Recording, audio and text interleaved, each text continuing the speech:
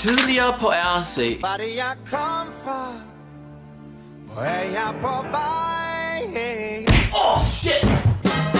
Mit hjerte slår på en helt ny måde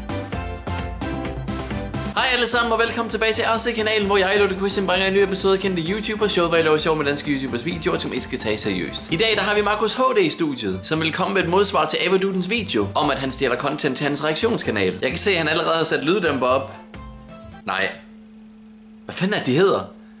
Fuck det. I hvert fald så ser det ud, som om han ikke vil have, at nogen skal høre ham sige sandheden. Selvom der er flere tusind, der kommer til at se med her. Jeg er faktisk på udkig efter sådan nogen, som ikke hedder lyddæmper. Hvor lang tid tager de at sætte op? Halvanden uge. Halvanden uge? Du må virkelig have haft travlt med at stjæle folks videoer. Hvor længe har det stået på, Markus? Den går 45 dage tilbage. Altså Markus, hvis vi scroller hurtigt igennem din kanal, så kan vi se, at det er i hvert fald lidt mere end 45 dage. Har der været nogle konsekvenser for det her? Jeg er simpelthen bare vågnet op med hovedpine. Okay, Abeduden har ligefrem været ude at teste dig. Måske vi skulle være lidt mere voksne og sende dig til læge i stedet for. Hvilket jeg hørte, du er blevet. Hvad, hvad har du fået at vide? Jamen, uh, Mark, du er kystsyg. Så i og med, at du stjæler folks content, så render du også rundt og kysser dem. Altså, Mark, du har haft mig med i en af dine reaktionsvideoer.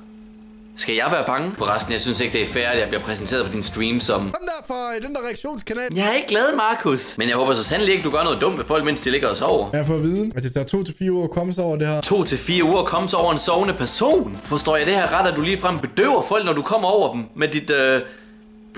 det er fandme nasty, Mark. Så kan jeg få en lægerklæring. Nej, du kan bare stoppe med at være så fucking ulækker. Hvad får du overhovedet ud af det her? Høj energiniveau, og man ligesom er på. Nej, du skal fandme ikke være på nogen, og der er fandme heller ikke nogen, der skal være inde i dig. Gider du godt at stoppe? Det kan jeg ikke lige pt. Det kan jeg næste uge. Føler du bare, at du gør hvad som helst som streamer? Der er nogle ting, der følger med jo. Det her, det er i hvert fald ikke en af dem. Men det er noget, lægen vurderer. Ej, det vil jeg kraftigt med dig for, det ikke er. Kan du ikke prøve at skære ned bare en lille smule? Om det bliver to timer gangen, eller om det bliver øh, fire timer gangen, eller det bliver seks timer gangen, det ved jeg ikke. Jamen, det bliver det hele jo ikke bedre af. Hvad så med din YouTube-karriere? Jeg kan lave YouTube-video, det er ikke noget problem, fordi det, så optager du, så er det færdigt. Hvis du optager dig selv lave noget varmt med nogen, så vil jeg hverken se eller høre noget fra det. Det var alt for denne video, drenge og piger. Jeg håber virkelig, I nød videoen. Hvis I gjorde, så husk endelig at smide videoen et like. I må også meget gerne tjekke beskrivelsen ned, hvor I kan finde min Instagram, Facebook og Twitch. Der kan I følge med op på, hvad jeg laver i mit liv. Tusind tak for denne gang, og så ses vi igen på mandag. Nu tror jeg, jeg vil gå ud og tage mig et bad, fordi hold kæft, Mark, hvor føler jeg mig ulækker.